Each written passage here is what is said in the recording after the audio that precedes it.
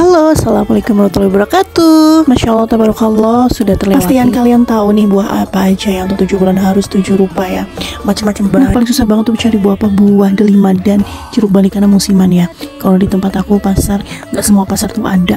Jadi tuh nyarinya harus keliling-keliling dan akhirnya ternyata dapat juga dapat di pasar Senen. Bener-bener rasanya enak banget, asam manis, pokoknya lezat banget deh biasanya kalau ibu-ibu ini kalau mau ada tujuh bulanan itu yang dicari itu pasti apa? Ini rujak tujuh bulanan. Nah ini aku buat itu masing-masing buah 5 kilo. Ada juga yang lebih ya karena kan untuk acara pengajian dan bagi-bagi tetangga juga sih ya. Jadi kita buatnya berlebihan dan bener-bener itu dapatnya satu bak besar banget. Dan itu pun alhamdulillah masih lebih. Alhamdulillah banget aku bersyukur dibeli kelancaran untuk acaranya. Dan terima kasih untuk keluarga aku yang sudah bisa bantu-bantu aku. Terima kasih. Thank you